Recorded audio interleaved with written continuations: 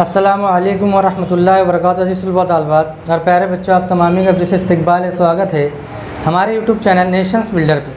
प्यारे बच्चों हम स्टडी कर रहे हैं सातवीं जमात का रियाजी मजमून का सबक नंबर पाँच, नाती का आदाद और उन पर अमल, जिसका लेक्चर नंबर छः लेकर हम आ- आपकी खिदमत में हाजिर हुए हैं। लेक्चर नंबर छः जिसमें आज जो है हम मशक़ी सवाल नंबर पच्चीस जो है, ये हल करने वाले हैं। मशक़ी सवाल में टोटल पाँच क्वेश्चन दिए हुए, पाँच सवाल है। जिसमें तीन सवाल यहाँ पे आपको हल करके बताए जाएँगे और दो सवाल आपको घर काम दिया जा रहा है। ठीक है प्यारे बच्चों? तो यहाँ पर दिया हुआ है सवाल नंबर एक देखेंगे। पचास ज़रब पाँच तकसीम दो जमा चौबीस। ठीक है?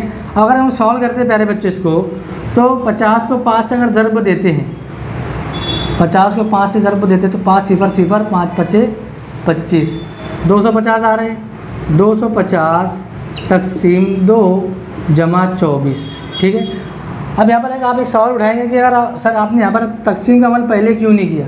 तो प्यारे बच्चों, अगर तकसीम का अगर हम अमल पहले करते करेंगे पहले भी करेंगे तो हमको जवाब यही मिलेगा। अगर हमको दो पाँच को दो से तकसीम करेंगे तो हमको दो अशरिया पाँच ढाई जवाब मिलेगा। और ढाई को अगर हम पचास से ज़रब देंगे तो हमको एक सौ पच्चीस जवाब मिलेगा। तो हम दो सौ पचास को दो से तकसीम करने के बाद हमको जवाब एक सौ पच्चीस ही मिल रहा है। ठीक है? तो कोई प्रॉब्लम की बात नहीं है। अब इसको सॉल्व करेंगे हम। दो सौ पचास को दो से तकसीम करेंगे हम।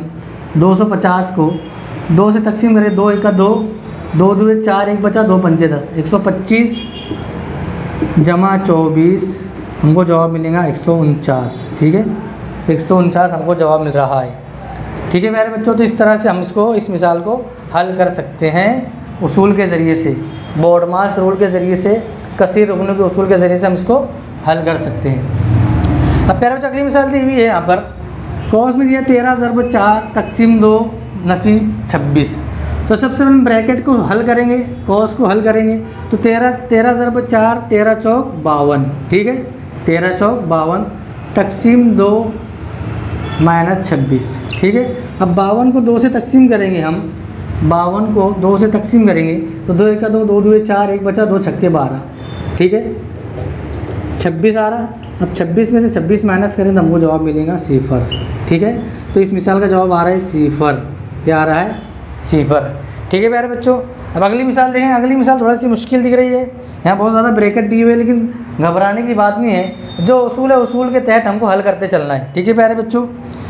तो 140 हम ऐसे लिख देंगे 140 तकसीम। अब प्यारे बच्चे, यहाँ पर 11 ज़रब, तीन। नफ़ी 11 ज़रब, नफ़ी, तीन दिए हुए। तो ये नफ़ी ये नफ़ी जो है, जमा हो जाएगा। ठीक है? ये नफ़ी ये नफ़ी जो है, जमा हो जाएगा। तो हमको ग्यारह ज़रब तीन, ग्यारह तीय तैंतीस। ग्यारह तीय ग्यारह तीय तैंतीस। ठीक है मेरे बच्चे, समझ में आ रही बात? ब्रैकेट हल कर रहे हैं हम।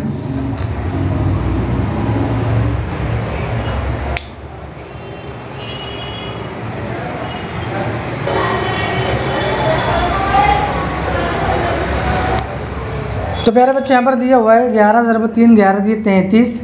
अब यहाँ माइनस है, ठीक है? अब अगर हम जो है, अगर हम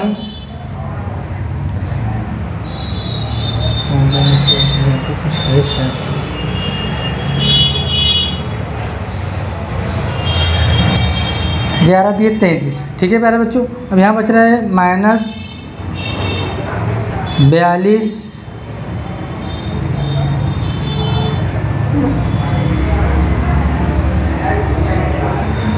माइनस बयालीस, तकसीम चार, तफरीक एक। अब प्यारे बच्चों, अगर हम यहाँ पर इस चार सॉरी चौदह दिए हुए है, चौदह है। चौदह को हम बयालीस से तकसीम करेंगे, नफ़ी बयालीस से तो हमको जवाब मिलेगा, ये एक सौ चालीस ऐसे आ जाएगा। एक सौ चालीस तकसीम, तैंतीस माइनस, ये चौदह की बयालीस से तकसीम करेंगे तो हमको नफ़ी तीन जवाब मिलेगा। चौदह का चौदह चौदह तीय बयालीस और ये नफ़ी एक ठीक है?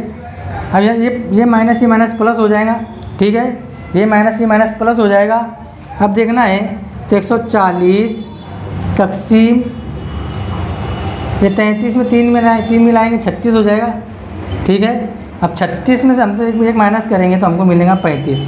तो 140 तकसीम पैंतीस तो हमको जवाब मिलेगा पैंतीस को 140 से हम तकसीम करेंगे।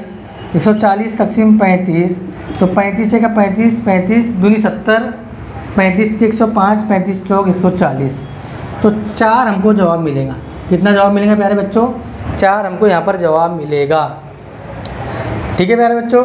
तो सबक नंबर पाँच, नातिक आदात और उन पर अमल का जो लेक्चर नंबर छः हमारा यहीं पर ख़त्म होता है।